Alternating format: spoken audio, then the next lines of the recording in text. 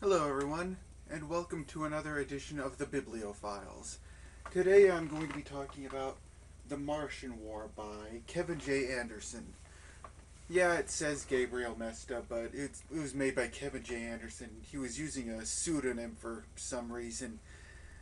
I don't know why. Um, I tried looking it up, but I couldn't find anything. It even it even says that it was. Even admits that he was using a pseudonym in the front flap of the book. But uh, anyway, this is essentially a uh, sort of his take on the whole War of the Worlds thing. Except in this one, um, H.G. Wells himself is actually the main protagonist instead of just the nameless uh, narrator that was in the War of the Worlds. and um, he and a few other scientists um, go actually go to Mars, and um, well, first they go to the moon, then they go to Mars after.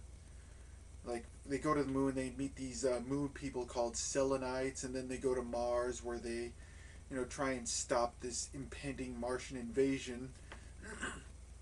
and um, you know, um, it was just a lot of fun essentially, um, my opinion, I think it was more of like a love letter to the early um, sci-fi of the late 18 and early 1900s, such as uh, going from like the Earth to the Moon by means of this uh, weird this uh, shell. It's called a cavorite sphere. Cavorite sphere. It's made of some sort of this weird material. Anyway, um, um see, um, uh, also during the um, reading, during the story, they go repeatedly back and forth to uh, this journal of Dr. Moreau. Yes, that Dr. Moreau, where he uh, goes and um, where he's where where we talk about the first encounter with the Martians and um, you know, where he talks about like how he dissects a few of them and uh, actually uh, um, grafts human organs to one of them so they can, you know, live and so forth. And you know how that whole thing turns out, and how they discover that the Martians were trying to invade, and why they're trying to, you know, go and, um, you know, prevent the invasion. And um, for the most part, I thought it was a very fun, fantastical type of uh, thing. You know, because, um, like I said, there's so many different stuff like going to the moon, then going to Mars, fighting the Martians. Uh, there's some stuff that kind of bugged me, um, but some that didn't. Uh, first off was the whole um, saying that it has heard somebody people saying that it was kind of a knocking off the League of Extraordinary Gentlemen Volume Two, but I kind of because I mean I, I kind of dis kind of agree because of the another character that just makes an appearance is Hawley Griffin, the um, Invisible Man, and he, he didn't have a first name in the book. It was just Griffin, and it really wasn't until um, Alan Moore gave him the name in the League of Extraordinary Gentlemen that he actually had a first name. and um, but that really didn't bug me. Then there was also the certain um, thing that kind of goes against what they were, what, what H.G. Wells was going off in the the uh, book, which was the whole uh, that uh, the the whole point between the Martians and the humans was that it was supposed to parallel the relationship between humans and animals and how um, how kind of cold we are to animals and how easily it is for us just casually kill off a lot of them and um, but mostly um, like yeah there's a few side few uh, couple victories with such as with the Thunder Child and taking out a couple of the Martian tripods. For the most part, the humans were completely helpless, and um,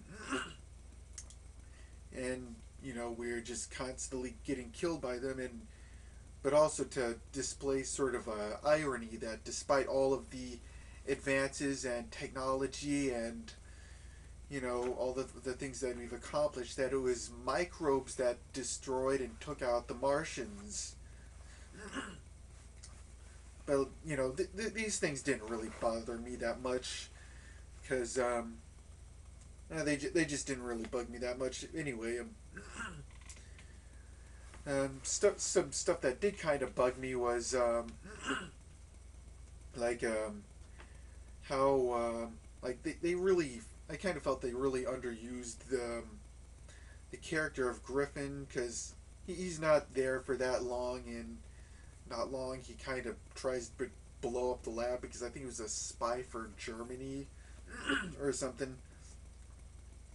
And um, and on the other on the one hand this is kind of funny because it um, it's this large explosion that he attempts to blow up the lab which sends the Cavorite sphere with H.G. Thomas Huxley and Jane off to the moon into outer space within the, within the Cavorite sphere and um,